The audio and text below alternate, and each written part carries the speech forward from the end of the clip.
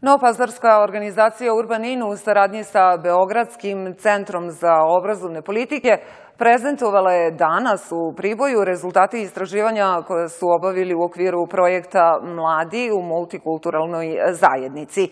Istraživanje je sprovedeno u cilju mapiranja interkulturalnosti u školskoj zajednici šest sanđačkih opština i poslužit će Ministarstvu prosvete u analizi obrazovnog sistema u multikulturalnim sredinama.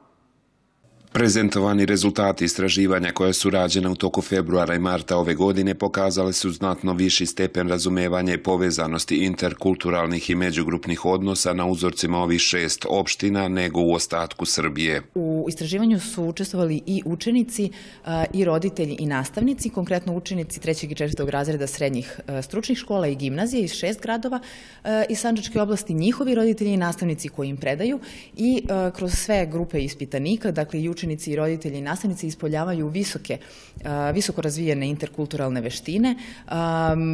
Kada, kada je reč o socijalnim distancama, one su ili umerene ili niske, tako da to takođe govori o jednoj pozitivnoj situaciji među mladima ovde i naravno pokazalo se da je škola jako bitan faktor.